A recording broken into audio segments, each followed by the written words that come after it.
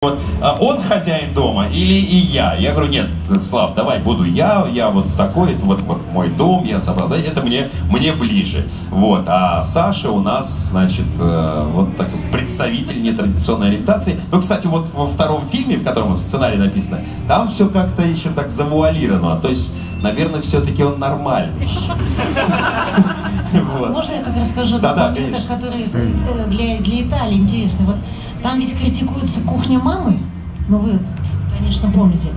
Можете себе представить, какие дополнительные аспекты приобретает эта сцена при просмотре в Италии, да, где жена на фоне вот этого всего, э, вот это, да, вот этого всего происходящего, она говорит, что ну твоя мама, простите, плохо готовит.